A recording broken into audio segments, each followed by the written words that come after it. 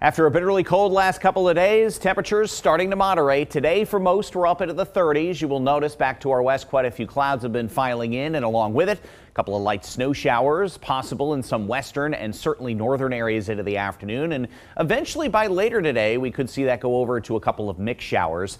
A lot of activity back to our north and west, and eventually that starts to make its way in our direction, along with even milder air for the day tomorrow. High temperatures this afternoon, 30s for most, although we could briefly touch 40 in a couple of southern locations into the afternoon.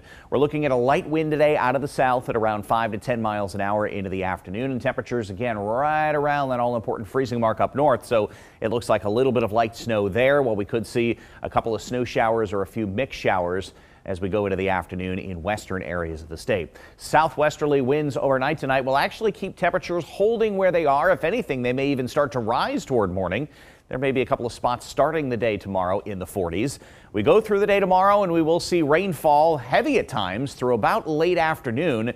And then as the rainfall gives way, the temperatures will crash quickly later Thursday night and eventually set up a much colder reality with a brisk wind Friday with highs only in the 20s to lower range of the 30s. Could be a passing snow shower around on Friday. Could be a couple of snow showers around on Sunday, but otherwise a fairly quiet weather pattern once we get beyond the system moving through during the daylight hours tomorrow. Clouds milder today with some mixed shower activity, mostly in the form of some light snow this morning in a few western and northern areas, and then maybe a couple of passing mixed showers later on this afternoon. Temperatures tonight holding where they are from their highs today and eventually in your seven day forecast shows the milder day tomorrow. Could even be a few lower 50s in southeastern parts of the state before brisk winds cool us off Friday and fair skies heading into the weekend.